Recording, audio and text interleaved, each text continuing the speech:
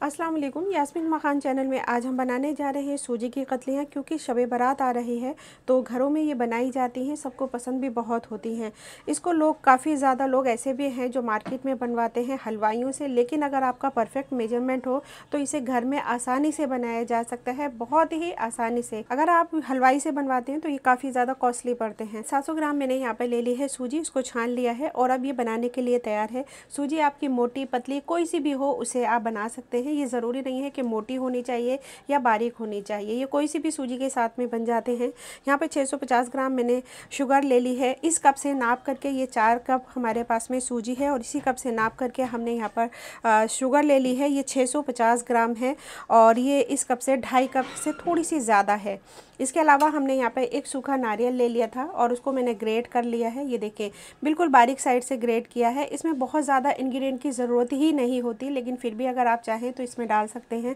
नारियल इसमें डाला जाता है। वो मैंने एक मीडियम साइज़ का नारियल को ग्रेट कर लिया है। यहाँ पर मैंने नट्स ले लिए हैं तो मिक्स करके नट्स लिए हैं हाफ़ बाउल के बराबर। बाकी चीज़ें मैं डालती जाऊँगी और आपको बताती जाऊँगी। तो आइए, सबसे पहले हम बनाना शुरू करते हैं चाशनी। इसमें कम घी का भी इस्तेमाल होता है। बहुत ज़्यादा घी इसके अंदर यूज़ नहीं होता है। तो यहाँ ट्रे के अंदर मैंने सबसे पहले ट्रे में घी लगा करके तैयार कर लिया है, ताकि जब कतलियाँ बनने वाली होती हैं तो उसमें आपको इतना ज़्यादा टाइम नहीं होता कि आप बहुत सारी चीज़ें इसमें लगाते जाएँ। तो यहाँ पर मैंने घी लगा दिया। अब इसी में हम थोड़ा सा सूखा नारियल इस तरह से लगाएँगे। बाकी नट्स जो भी आप डालना चाहते हैं, वो डाल सकते हैं।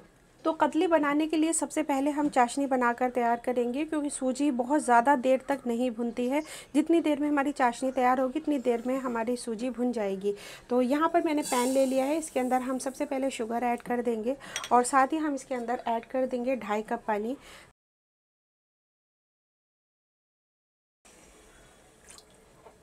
और अब इसके अंदर हम ऐड करेंगे, यहाँ पे दो लौंग ऐड कर देंगे और दो मुँह खोल करके इस तरह से दो छोटी इलायची भी ऐड कर देंगे। इलायची पाउडर हम अलग से ऐड करेंगे, लेकिन चाशनी हमारी फ्लेवरफुल होनी चाहिए तो दो इलायची मैंने डाल दी है। अब इसे चलाते हुए तकरीबन दो तीन मिनट के लिए कुक कर लेंगे पहले।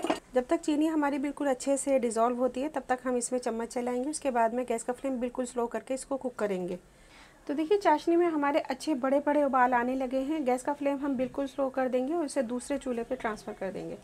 और इसे तकरीबन हम 10 मिनट के लिए स्लो फ्लेम पे कुक करेंगे। उसके बाद में किस तरीके की कंसिस्टेंसी होनी चाहिए, ये मैं आपको बाद में दिखाऊँगी।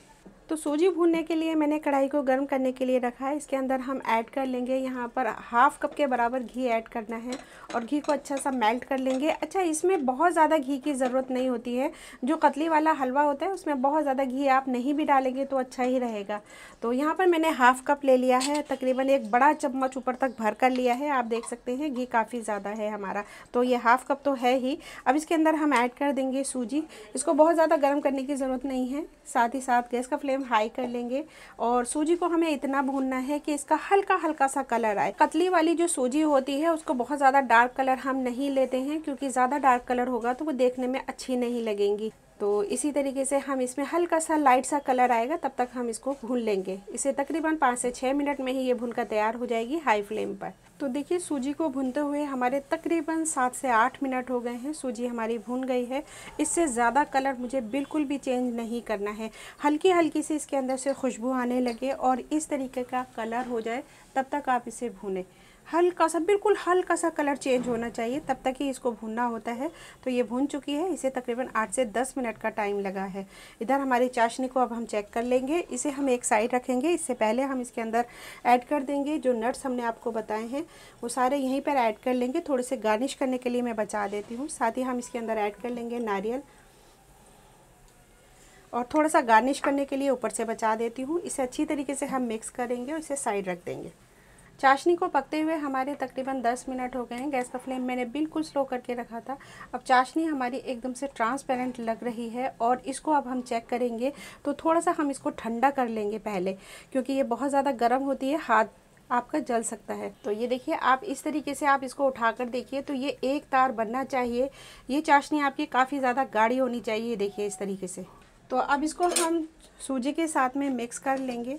तो यहाँ पर मैंने छलनी ले ली है, इसको हम इस तरह से थोड़ा सा छान कर डालेंगे, क्योंकि जो हमने इलायची वगैरह ऐड की हैं, वो सारी ऊपर ही रह जानी चाहिए।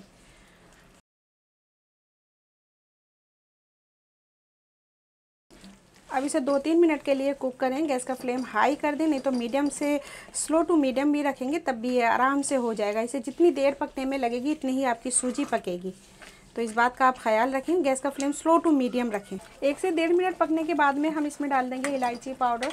तो एक टीस्पून के बराबर मैंने इसके अंदर ऐड कर दिया है, इसे अच्छे से हम मिक्स कर लेंगे। और इसके अंदर हम ऐड कर लेंगे केवड़ा एसेंस। तो तकरीबन एक से दो ड्रॉप के बराबर हम इसके अंदर ऐड करेंगे इससे ज़्यादा नहीं करेंगे, इसे अच्छे से मिक्स करेंगे।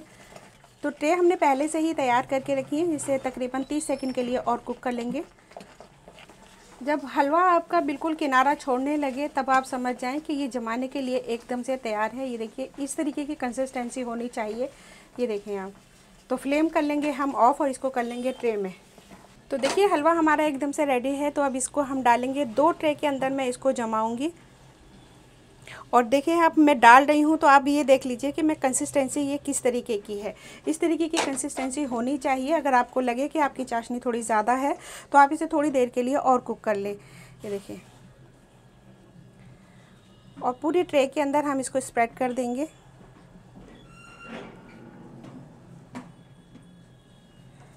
तो देखिए, अब इसके ऊपर हम डालेंगे सूखा नारियल।